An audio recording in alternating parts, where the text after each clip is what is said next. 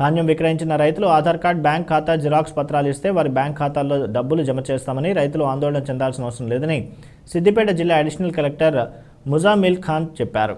సిద్దిపేట జిల్లా ఐడీఓసీలోని additional collector ఛాంబర్లో సోమవారం మధ్యాహ్నం జిల్లాలో ధాన్యం కొనుగోలు ప్రక్రియ ప్రారంభంపై civil supply DRDA DCB legal metrology DPM MEPMA అధికారులతో కలిసి సమీక్ష నిర్వహించారు.